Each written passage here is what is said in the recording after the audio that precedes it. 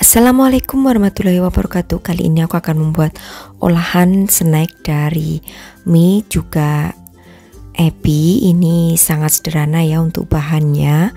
Seperti apa proses cara pembuatannya? Simak terus videonya sampai selesai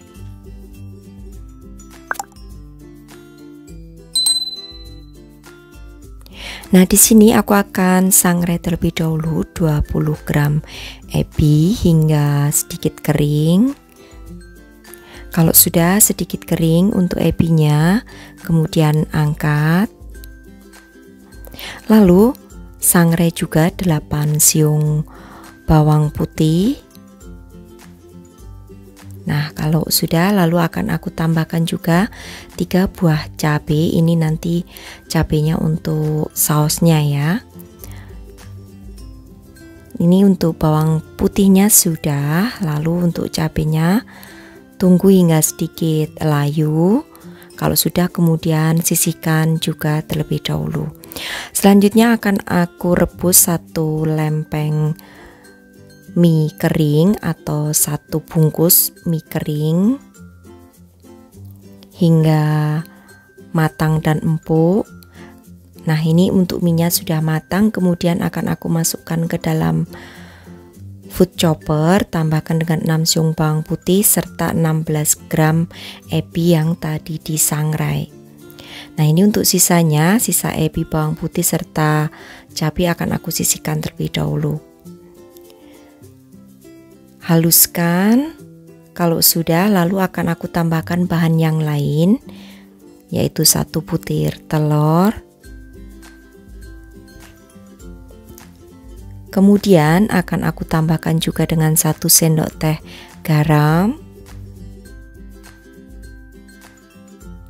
dua sendok teh kaldu jamur, lalu 1 sendok teh lada atau merica bubuk, 50 gram tepung terigu, 200 gram tepung tapioka atau tepung kanji, lalu setengah gelas air. Ini untuk airnya air biasa aja. Lalu campur hingga tercampur rata. Aku sekalian aja aku campurnya menggunakan food chopper. Nah, setelah tercampur rata seperti ini akan aku pindahkan ke dalam panci supaya lebih enak ya nanti untuk membentuknya.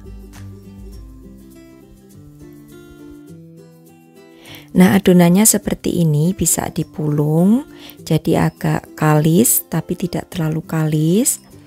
Kemudian ambil adonan sedikit lalu bentuk menjadi bulatan-bulatan. Ini bisa disebut dengan bola-bola mie ebi snack pula-pula mie ebi ya. Nah, untuk besar kecilnya silahkan aja ya, sesuaikan dengan selera. Lakukan hingga semuanya selesai.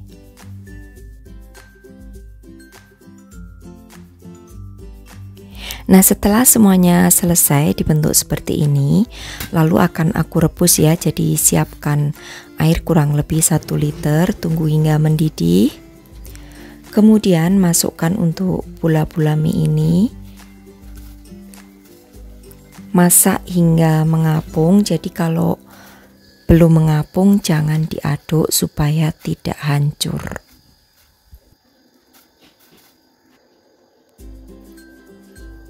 Untuk penggunaan apinya gunakan api yang sedang aja. Nah ini sudah ada yang mengapung ya tapi tunggu hingga mengapung semuanya baru diaduk.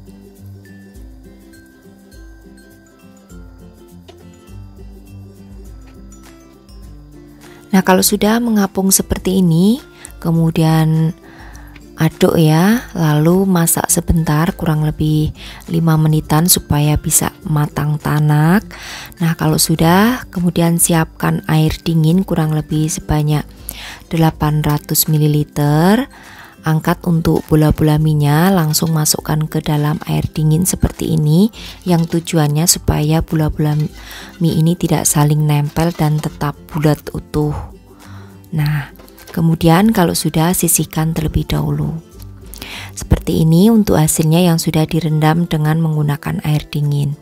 Selanjutnya akan aku siapkan wajan dan juga minyak lalu uh, gunakan api yang sedang cenderung kecil, tunggu minyaknya mendidih.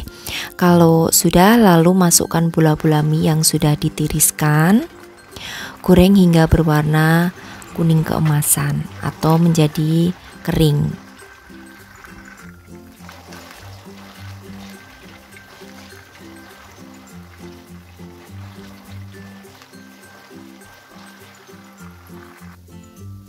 Dan jangan lupa dibalik kalau sudah bagian bawahnya mengering dan juga sedikit kecoklatan.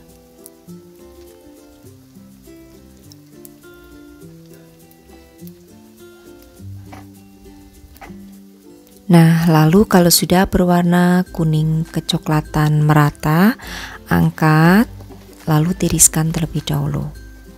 Nah, setelah selesai untuk menggoreng, kemudian aku akan siapkan bahan untuk membuat sausnya.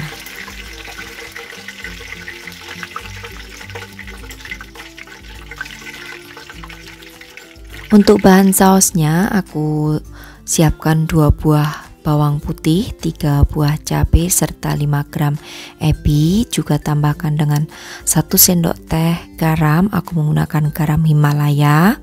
Kemudian haluskan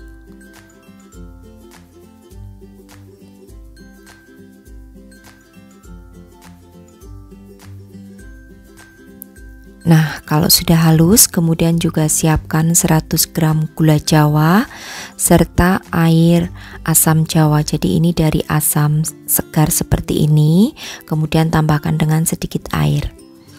Lalu tambahkan air 350 ml air, kemudian masukkan ke dalam panci masak dengan menggunakan api yang sedang, tambahkan gula jawa juga bumbu yang dihaluskan tadi hingga gula jawa serta bumbunya ini matang. Tambahkan juga dengan air asam jawa. Kalau misalkan kurang asam boleh ya nanti ditambahkan air asam jawanya jadi diicipi aja. Lalu setelah mendidih dan matang seperti ini, kemudian saring supaya tidak ikut ya untuk rempah-rempah yang lainnya. Jadi untuk kuah atau sausnya ini bening atau bersih dari rempah-rempah. Nah, kemudian ambil untuk pula-pula mie ebinya seperti ini. Bisa disajikan dengan sausnya secara terpisah dan dicocol. Nah, ini untuk sausnya akan aku letakkan di mangkok kecil. Nah, kalau sudah kemudian akan aku tambahkan sedikit dengan daun bawang.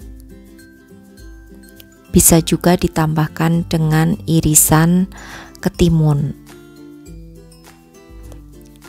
Oke, bisa juga cara penyajiannya ambil piring lalu gunting-gunting untuk bola-bola minyak ini baru setelah itu dituangi dengan saus atau kuahnya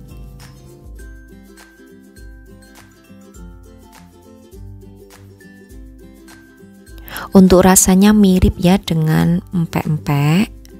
Nah, ini akan aku tambahkan ya dengan irisan ketimun. Lalu setelah itu tambahkan kuah atau sausnya.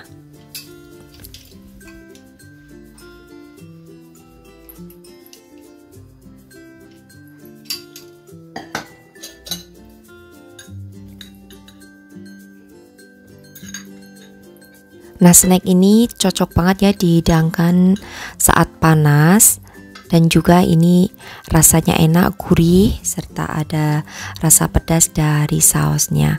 Oke selamat mencoba ya untuk sahabat aku semua di rumah.